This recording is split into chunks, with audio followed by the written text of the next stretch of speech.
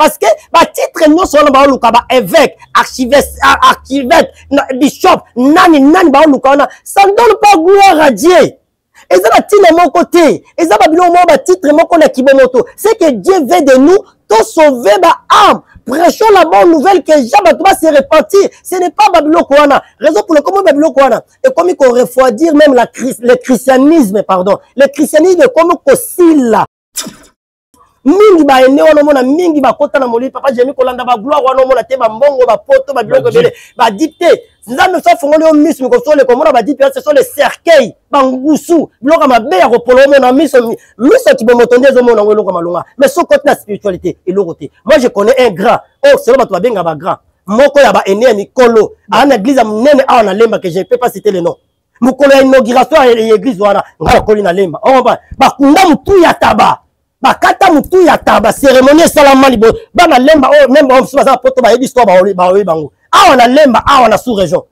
bakunda motu ya tamba liboso ya eglise oyo oh, kasala eza seremoni eza biblique eza biloko eza biloko ya molili bokoko eh, kindoki sikoyo omona baeglise ebele ozomona oyo bakunda wa mito ntaba barealité eza ebele papa jérémi na kati ya monde wana ozomona eh, jour na parle alors barealité eza ebele baeglise ebele omona mingi ya minene oyo ekoma nango baloge d'abord barak mogisu c'est pas un homme de dieu eh, donc c'est quelqu'un moko yango nayebisi yo ke kolanda batemple wana te ce n'est pas dit que soki moto atongi temple ya monene oyo mosusu aza na temple ya moke ndenge olobi ya biso ke ye nde aza na nzambe biso toza nango te non elobi mpe te ke oyo aza na temple ya moke ye nde aza na nzambe ke oyo aza na temple ya monene aza na nzambe te non on comprend mais l'église ce n'est pas d'abord temple wana c'est le cœur de l'homme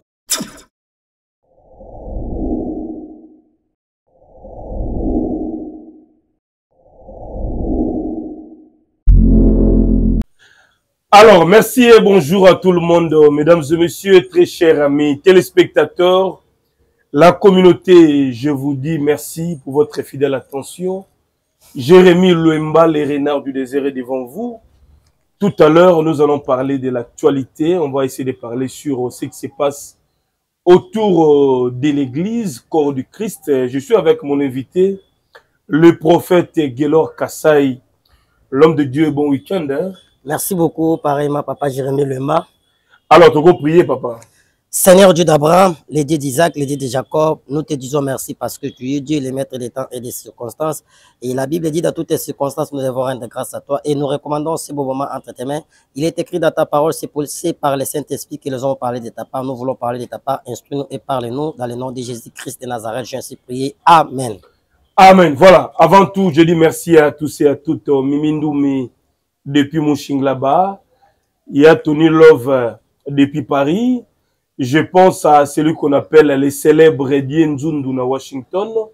Le président Pedro Mutu, leader à jeunesse, association main dans la main depuis la ville Fontaine, mais aussi partout en France. Et pourquoi pas aussi remercier euh, il Zombala de Madrid. L'homme de Dieu, je crois que on va essayer de parler sur plusieurs dossiers. Déjà, l'église des réveils connaît beaucoup de problèmes.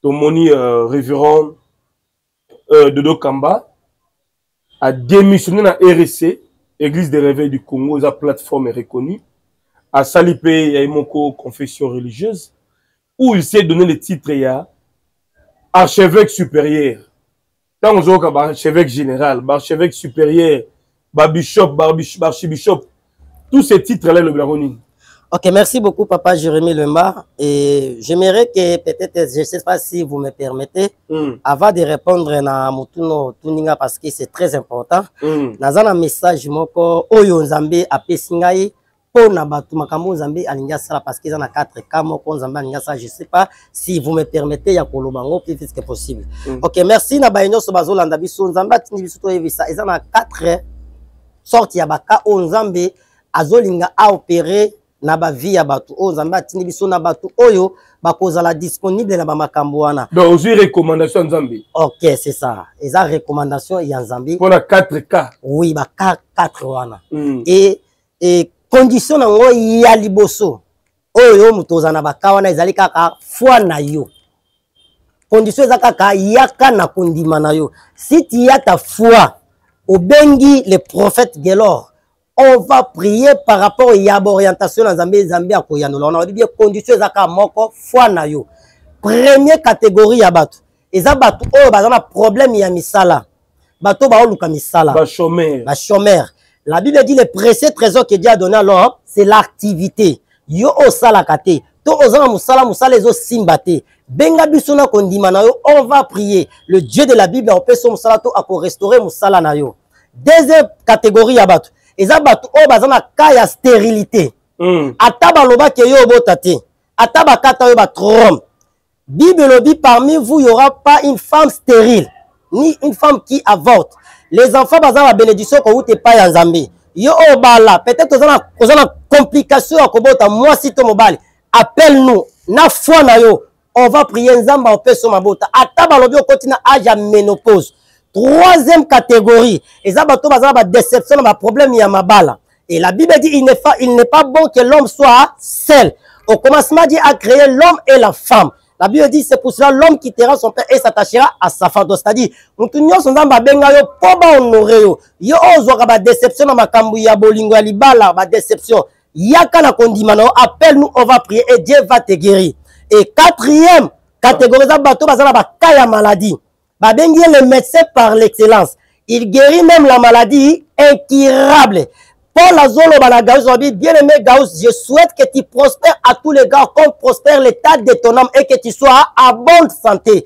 Benga biso na ba quatre camps là, tu dis problème même ça là, ya mabota, ya mabala, ya malade, on va prier. Condition eza kaka zala na kondima. Moi j'ai confiance en mon Dieu. Na yebi pe Nzambe abenga biso solo bi Nzambe obikisa et gloire ezonga kai pa ya Nzambe. merci beaucoup alors ça c'est très bien dit ozwi recommandation euh, divine amen par rapport ya bakaa bandeko baza na mpama stérilité misala mabala et puis euh, maladie maladie je crois que ça a été bien dit alors euh, bazala na foi yo opesa bango nini jus mai mungwa merci beaucoup ozalaka mayele makasi question neti ngambo amona ntango avec se bibi mpe napesa réponse na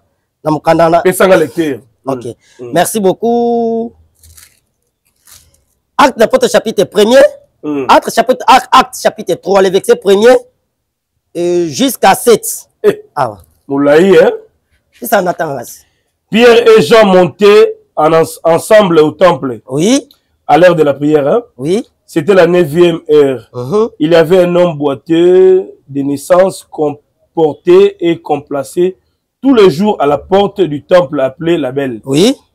Pour qu'il demandât l'aumône à ceux qui entraient dans le temple. Oui. Cet homme voyait Pierre et Jean aller y entrer, leur demanda l'aumône. Pierre de même que uh-huh. Jean, fixant les yeux sur lui, et dit, regarde-nous. Et il les regardait attentivement. S'attendant à recevoir d'eux quelque chose, uh-huh. alors Pierre lui dit, je n'ai ni argent ni or, mais ce que j'ai, je te le donne. Uh-huh. Au nom de Jésus-Christ de Nazareth, lève-toi et marche. Et le prenant par la main droite, et il fut levé. Au même instant, ses pieds et ses chevilles devirent fermes. Mm -hmm.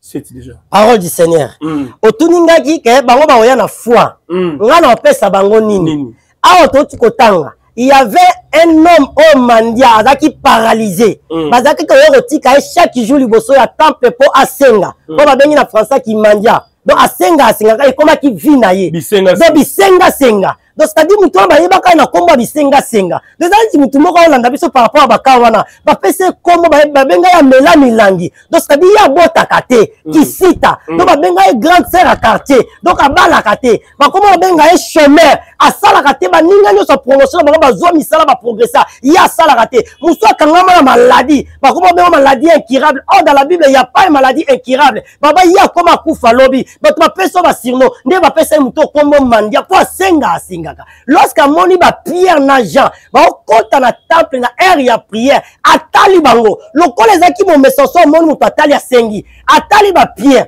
abandi kosenga pierre mpe siko tala biso attentivement donc tala biso na bokebi j'aimerais motu moko atala biso na bokebi parce que nzambe apesa yo solution na ka na yo ce n'est pas moi mais c'est dieu par rapport à ta foi et lorsque atali ba pierre ao s'attendre azela quelque chose pierre alobi ayebisi ye je n'ai ni or ni, ni argent mais ce que j'ai j'aime la parole de dieu papa jérémie lemba le renard du désert mm. ce que j'ai je, je t'ordonne au nom de jésus christ de nazareth lève-toi et marche. C'est-à-dire, Pierre n'avait pas l'argent.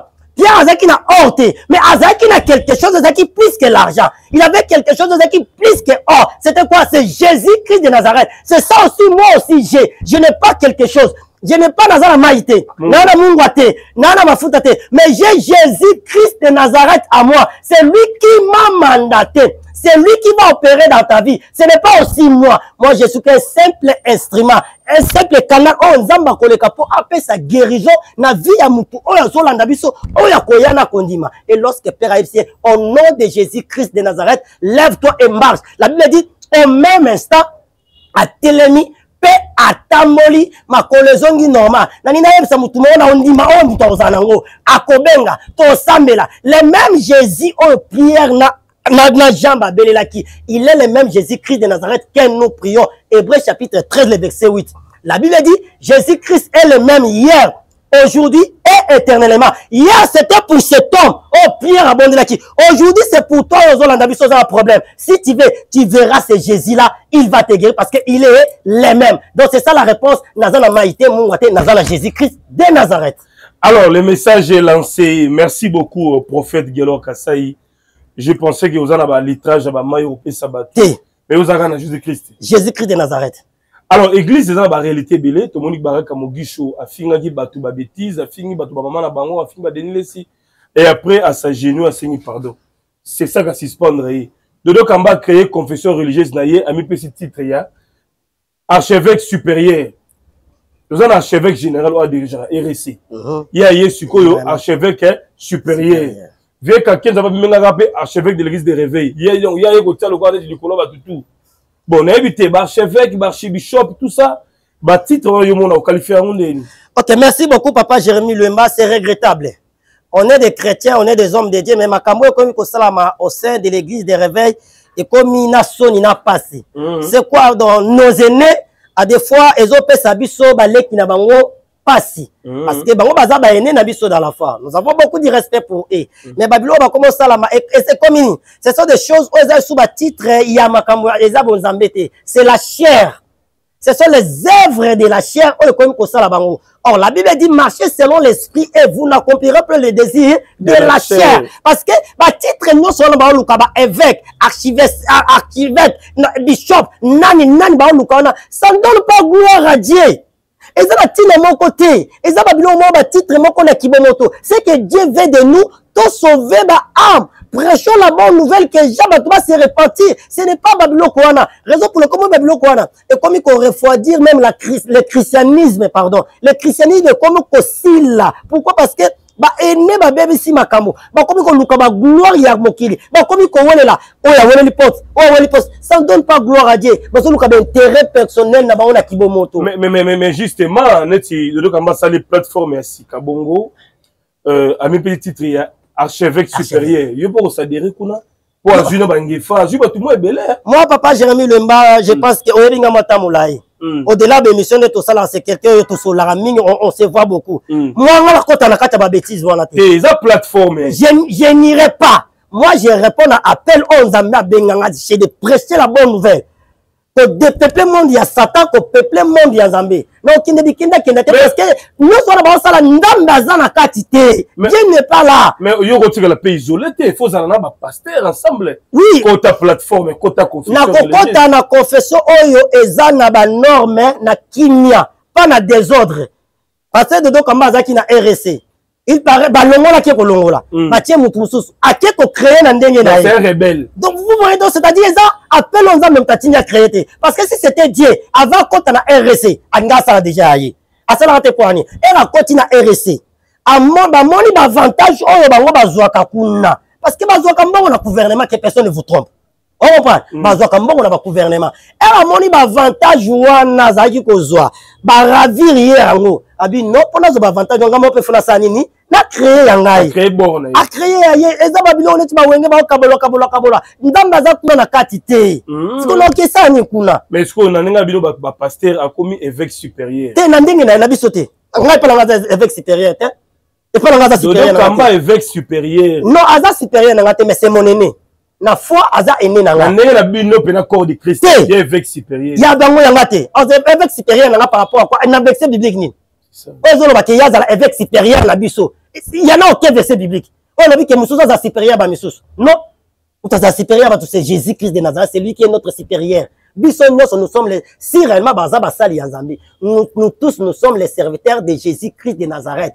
Ako mais ba aîné na foi bazali. Mm. Mais koloba ke supérieur te, supérieur azala te somo mutu akomobe oh. tolonga aza supérieur. Wana ekomi kibomoto. La chair, ce sont les œuvres de la chair. Ba gloire ya kibomoto ya mokili. Yango ni mingi lelo ezomema bango na babe bakoma kokota na balonge bakomi bato ya badouble nsima bimaka na bango na nsima bake na bakabale juif bake na baoccultisme ya niveau ya likolo bagloire wana ya kibomoto ebebisi eglise mingi baende wana omona mingi bakota na molili papa jemi kolanda bagloire wana omona te bambongo bapoto babiloko ebele badip te nzambe so afongoli yo miso mikosoleka omona badip ya seso le cercueil bangusu biloko ya mabe ya kopolo omona miso miso ya kibomoto nde ezomona yango eloko ya malonga mais soki koti na spiritualité eloko te moi je connais un grand oyo oh, selo bato babenga ba grand moko ya baene ya mikolo aa na eglize ya monene awa na lemba ke je ne peux pas citer le nom mokolo ya inauguration ya eglize wana ngai nakoli na lemba okomba bakunda motu ya taba bakata motu ya taba seremoni esalama libo bana lemba oyo oh, meme bango mosusu baza na poto bayebi histoire baoyebi bango awa na lemba awa na sous région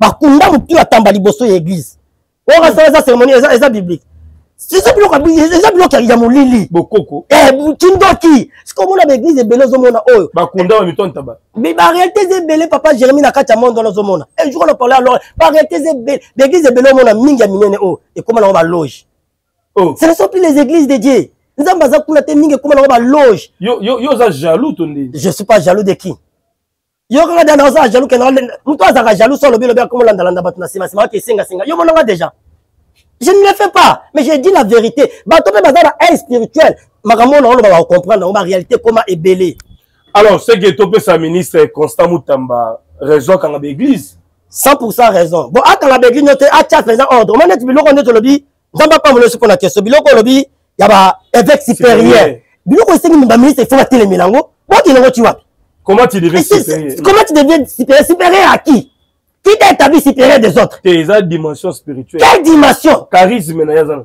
quel charisme papa oyebi bato baza charisme natango bato baza bato basala ba charisme na kele mosusu oyebi sonic afuta rockman babiloko asala na mboka oyo eh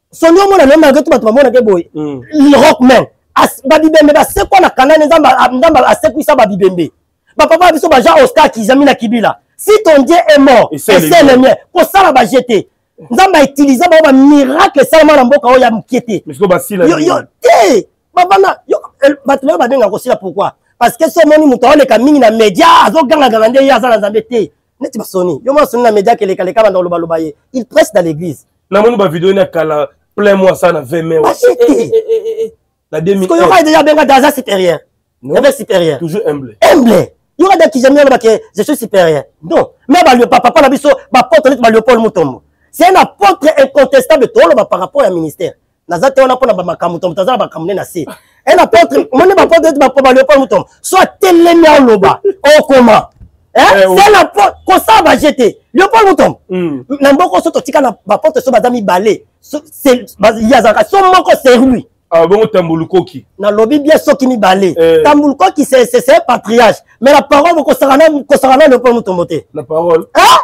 okano te c'est un apôtre ya ministère yoko kosala baje te abenga supérieur jamais eh, sikoyo dodo oyo olanda alors sikoyo pardon oyo ndeko mogisho asengi wana afukami aleli epuis awa basuspendre na sesaki aleka na batv te me alobi moto moko ntango botole telefone osa balive na ye boye baraka mogisho ozomona ye ndeni comportement na ye ndenge asengi pardon wana tolimbisa ye quand même d'abord baraka mogisho c'est pas un homme de dieu Eh, donc c'est quelqu'un moko yango nayebisi yo eh. ke kolanda batemple wana te ce n'est pas dit ke soki moto atongi temple ya monene oyo mosusu aza na temple ya moke ndenge olobi ya biso ke ye nde aza na nzambe biso toza na yango te non elobi mpe te ke oyo aza na temple ya moke ye nde aza na nzambe ke oyo aza na temple ya monene aza na nzambe te non okomprendre mais l'église ce n'est pas d'abord temple wana c'est le cœur de l'homme temple eza bien est ce que bato baza na kati kuna baoprépare bato mpo na enlèvement baoprépare bato mpo na la rencontre avec dieu or bible elobi mosala ya nzambe bokoyeba ye na misala na ye est ce que misala ya baraka mogisu meme yo est ce que oh, soki otali babi ke ntanga ata basala nzambe bale okoklase parmi basala nzambe na bacomportement na ye un homme soit disant un homme de dieu aopasse na média azoloba azoloba te mais azofinga ba insanité papa jérémie meme mwa nde naza boye nayebi te meme mpona kofinga meme bwata ndako osanoli na te kanda nani ye aleki bato nyonso na kanda yoka saka biso oza planete banga mokisi aleki nga na kanda non aleki te eza nde aza nzambe abenga te se nayebi te so na babenge so evoyo so enani so nani se quelqu'un auti so wapi aye awa bon soki aza mosala nzambe bible lobi après avoir réussi la connaissance ya poids de pardon baraka mogisu ateyaka bible atangaka ayebi ke kofinga c'est un péché mais aleki na media azofinga bamama ya bato makambo ya betise déjà oublié mais titi yo tuni na question pardon nango siko bapardonne na nini aya kosenga pardon mpo basuspendre pendant 70 ans 70 jours yango ayosenga pardon siso bapardon moko nde tolobaki dernièrement na bapardon moko ya hypocrisie c'est-à-dire batindiki mpo ayebi ke bapekisi ye pendant 70 jours aleka na media te nga kutu fale bayebisi nde ti akokufaka aleka lisu na bamedia te na ndenge babeta toloke babotole telefone te ministre tinda bato babotole telefone wana bango kutu basuspendre ye moke fale bakanga nano na na bikod na nani na ye wana na, na, na temple ya loge, loge na ye wana se magicien no bobongisi wana bomona se pe nomo dede se magicien moto asala babiloko ya lokuta lokuta baabimisa bapapie ekila abimisa baprofete ta batongo oyo ozoloba bekila wana wana osanza me papie ekila oyo na matongi ana nani na bongolo awa sha makambo nini ozoloba wana oyo mambali oyo bato bakisi ti oyebi yango bie ma olingi otumola nga oh, bakanga nde ye batya ata basiene sata mpe azala na bana na ye eba sata azala na badeps te kasi sikoyo yo olobi ndanga papier kila aza na bana na ye sata mpe aza na bana te mm-hmm. kasi emonesi bamugisa amona nani se na deps ya diable ya satana il travaille pour la gloire de qui n'est-ce pas ya diable mais ba professeur ya pesa yo pesa ngo quel professeur pesa abengi mutu na ndaku tombola mbetu mona mbongo mo mais ka obenga so so ozwa ye ona ba makiona ba makiona sa lokutu ona muyibi vrai muyi tamoni ba vrai muyibi scroll na mama zambe numéro 00,1 ah, ah, alors to beta lisolo arche de Noé Denis Lessi depuis ba menasaki ye a se retirer. Tomoni atikeli mama Tina mateya na église. Yo koloba nini mama Tina akoba na ministère wana to nini eza nini? Je suis tout à fait d'accord. Nasi oyebi tosalaki deux émissions avec toi. Parmi na ba conseils oyo ngana zako loba na vie na biso malgré toi yo kate na zalo ba na bi c'est de neta vieux mvuluzi. Denis Lessi. Vieux Denis Lessi que je salue. Oyo saki nini? Na lobaki bien. Omoni na temps oyo. Azo on est plus qu'à 6 mois ou bien une année ase retire nanu surtout na réseau sociaux na makambo ya nzambe azwa ta ya kosambela aluka lisu nzambe na profondeur parce que omoni bapapa deniles ata berere oyo esalami sikoyo mais ce sont les bato oyo nzambe abenga babujaka mpe kongo na bata moko boye mais ayaki kota na distraction ya réseau sociaux petage petage apeta pete ti ye mo pete ye kopete ye mm. oh, pa diable azwaki ye sikomoni kose retire wana c'est une bonne chose azwa sikoyo temps ya kozongisa intimité eloko esalaka mosala nzambe c'est l'intimité ya ye na nzambe ce n'est pas d'abord bagloire omona bambongo babiloko noto il faut être il faut ozala na intimité na nzambe eza ntango oyo faut azonga akolisa intimité na ye na nzambe ere obima dieu ne repart pas de sa grâce grâce na ye ezali azonga eza eloko ya malamu atikela mama tina atravaille ye azonga mo ndenge azongi wana azwa mpe temps ya bakoreflechir estce makambo naza kosala estce ezalaki malamu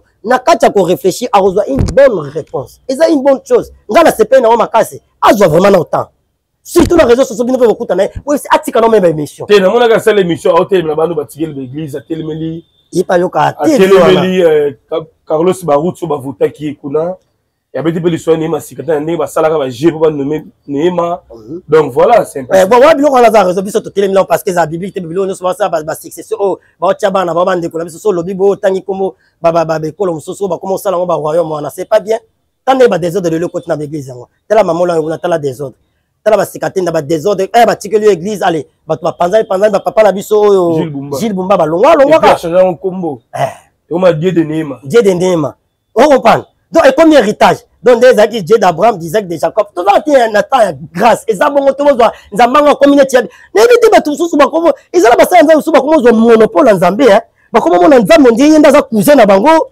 cousine na bango bango nde baneve na ye bazwa monopole kuna bato oh, ce n'est pas ça l'église ce n'est pas ça ta badésordre ce n'est pas bien alors bato babenga babi ke yo oleki mbongo ya marcelo mpo defendre marcelo bon soki nde na paster ya marcelo alobi aza na vacance na barcelone na espagne na bana tomoni akomi komema bebe na ye mwa deux ans wana alobi atikali papa mama et tout ça tu peux dire quoi na paster marcelo premièrement nzambe alimbisa bato bazoloba bongo ozwi mbongo ya pasteur masolo defendre ye avec beaucoup d'énergie e omoni papa jérémie nakopesa exemple bo napesa te exemple ya katiere moko ayeba na congo moto nyonso akoyeba omoni eti papa na biso meme edingwe ndenge aza hmm. lelo edingwe ndenge aza na se katiere aza na bakisi moto nyonso ayebi edingwe aza na bakisi lelo ata so akufeli mwasi na ye au-delà ou bien ata mwana tout moko akufela mwana tosala mpe émission ya mawanga na yo si tu te souviens yango mwana ya mobali mm. au-delà babakisi na ye ya bakatiere aza nango e eh, aza na likambo ya mpasi est ce que okoki konsole ye te okoki partage mpasi na ye te po aza katiere opartage mpasi na ye kikatiere na ye kimabe na ye etali ye me wana eza likambo ya mpasi eza neti esalamaki epa paster marcelo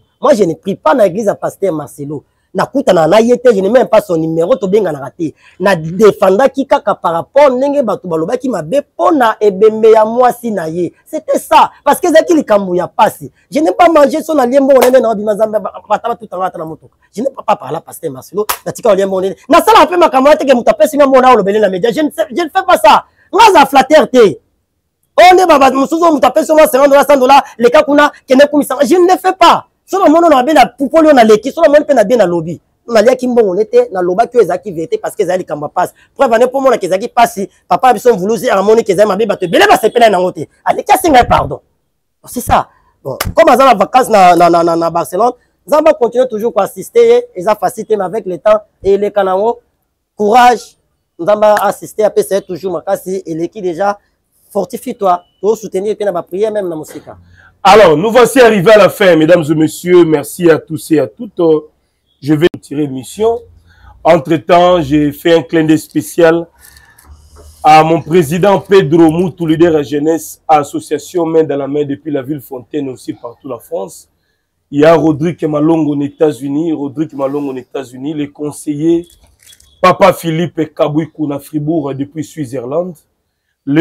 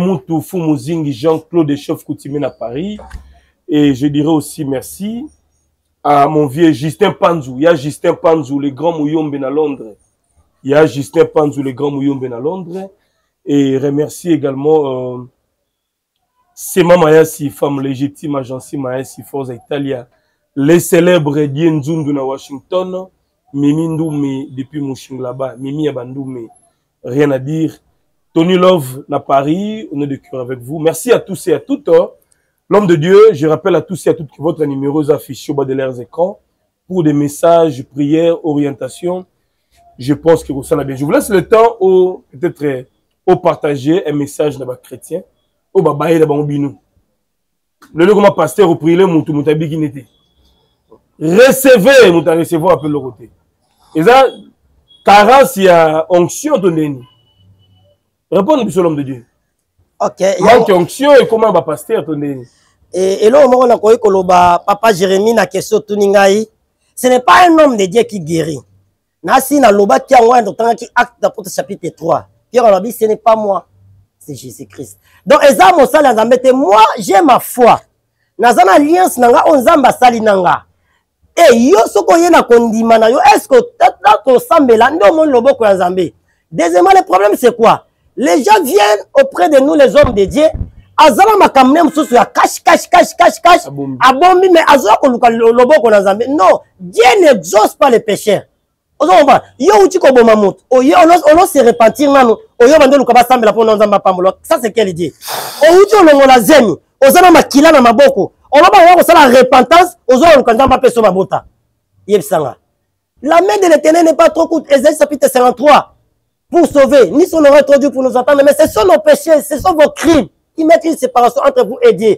Dieu n'exauce pas les pécheurs. bato ebele baza na bavie ya mabe me eza neti moto aza na pota aye nango epa docteur afa docteur atiakisi fo asukola yango nano fo alakisa pota bato baya na basalite na bango nde toza eseke les gens mais, mais, mais, beaucoup de pasteurs tomonana baeglise soki aprie mpo na moto abiki alekisi na télévision témoignage wana baaventurier papa bato baoluka gloire na bango omonaka place totanga na acte chapitre 3 so batangi ntina se bato baolanda biso omona lorsque moto wana abikaki mokakatani wana bato nyonso na temple bakomi kotalatala bapie bamoni ah, bapie basali miracle pie bazoyebisa bango abi vous nous regardez c'est comme si biso nde moto tosali miracle oyo eza biso te c'est par le nom de jésus christ eza jésus christ oyo oh, bino bocrucifiaki nde moto aglorifie nkombo ya basali na ye un vrai homme de dieu so osambeli mpo na moto moto abiki olekisa kaka na média te gloire eza ya nzambe bato bakoma luka gloire na bango yango moi mpesi ko nzambe akomi omema bango bamisu peut-être nango banini na bechec e asali boye esimi te osambeli mpo na moto motu mpasi oleki na média moi l'homme de miracle ngambo nabikisaka non gloire efo ezonga epa nzambe alors ça c'est bien noté s'il faut exhorter bandeko topesi yo temps bato babaye bino bato bakomi kokima ko koprie okobisa bango nini ok mm. merci beaucoup On y va. Merci beaucoup, papa Jérémy Lemba, pour la quelques minutes. Nabato Bazolanda, biso thème, nabiso toni toloba kaka.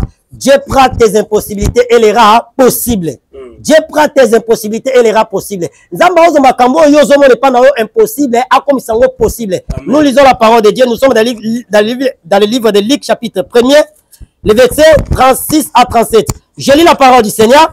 La Bible dit, voici Elisabeth, ta parente, a conquis elle aussi un fils à sa vieillesse, et celle qui était appelée stérile dans son sixième mois, car rien n'est impossible à Dieu. Marie dit, je suis la servante du Seigneur, qu'il me soit fait selon ta parole. Et l'ange la quitta. Parole du Seigneur. Bien-aimé dans le Seigneur, Dieu prend tes impossibilités et les rend possibles. nous sommes dans le livre de Luc chapitre 1er baotesa biso lisolo ya marie na marthe marthe azalaki grande sœur ya marie marie marthe azalaki na problème ya stérilité marthe azalaki kobota te akomaki meme mpaka lorsque l'ange aye kovisite marie mpo apesa ye message ya naissance ya jésus christ de nazareth qui est notre seigneur et sauveur et marie ayebisi l'ange ekosalama ndenge nini nga nayebi mobali te ndenge nini nakozwa zemi mpo nabota mwana elanje ayebisi ye molimo santu akokouvri yo tu sera couvri par l'ombre du saint esprit saint esprit akokouvri yo mpo okozwa zemi e marie ayebisi lange ne soit fait selon ta parole car je suis un servante de dieu elanje ayebisi ye meme meme marthe akozwa zemi akobota mwana mobali na kimokolo na ye ye oyo babengaki sterile bien aimé dans le seigneur rien n'est impossible à dieu na kiboboto marte akomaki déjà mokolo elle ne pouvait plus avoir des enfants elle ne pouvait plus être azwa zemi bien aimé dans le seigneur wana ezalaki na kibomoto mais pa ya nzambe retard ezalaka te nzambe ayebisi ye rien n'est impossible à dieu nani nayebisa motu moko kani na yo oza nango peut-être yo mpe oza na problème oyo elizabeth azalaki nango ya stérilité balobi obota lisusu te oyo oh, matrice ezosimba te basala baexame esimba te mai nani nayebisa yo dieu prend tes impossibilités et les rap possible wana baminganga balobi mai liloba suki eza epa nzambe nzambe apesa maboso akopesa yo nani nayebisa motu moko balobi ke yo obika lisusu te na maladi dieu prend tes impossibilités et les rap possible maladi wana nzambe akokomisa yango possible akobikisa yo yo mosala ezoya te complication nzambe akokomisa yango possible dieu prend tes impossibilité et les rend possible quel est ton problème bien aimé dans le seigneur yo olanda biso peut-être obungisi déjà elikya obi non nalembi na osambela lisusu te nasambeli mpe mingi nazwi solution te natiki me nangi nayebisa yo dieu prend tes impossibilités et les rend possible quel que soit ton problème quel que soit la durée quel que soit monene na yango nzambe acapable akopesa yo solution ndenge bible elobi rien n'est impossible à dieu quel est ton problème bisika totangi marie na marte marte azalaki na problème ya stérilité marie azalaki na problème oyo akosangana na mobali te oyo ezalaki impossible mais azwa zemi ya molimo santu bien aimé dans le seigneur dieu est capable ya kopesa solution na problème na yo peut-être bafrère ezosimba te Peut-être complication quand tu n'as mis ça là, Dieu est capable. Rien n'est impossible à lui. Dieu prend tes impossibilités et les rend possibles. Bien mais j'aimerais que yo landabiso matisa ka kondima na yo. Si tu as la foi, au moins que foi na komi penza komata. Au dit que nzambe sikoyo naza prena ndimi ko sala problème nanga au pesa en solution. Appelle-moi mon numéro est affiché. et on va prier je crois au miracle je crois à la puissance de Dieu je crois en Dieu je crois à la parole de Dieu et je crois que Dieu va te donner la solution parce que Dieu est le même il n'a pas changé. Le même Dieu qui a donné les enfants na, na Anne, qui na Marie, Azam même Zambé au yo bana, même Zambé oyo oh, Moi qui à ça pendant 12 ans, il est capable de te guérir. Le même Dieu qui élève, qui bénit, il est le même Dieu qui nous prêchons. Dieu prête tes impossibilités et les rend possibles.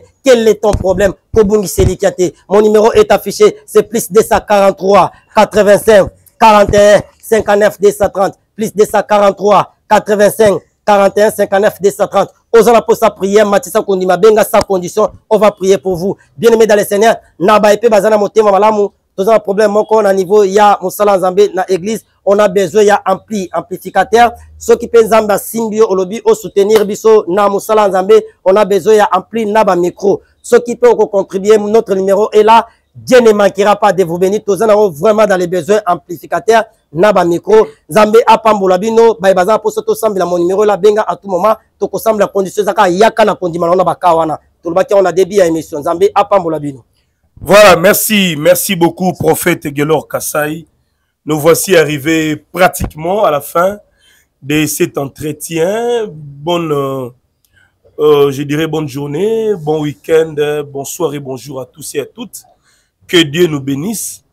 Appelez, commentez, partagez lien pour euh, nous encourager. S'il y a des suggestions, ne manquez pas.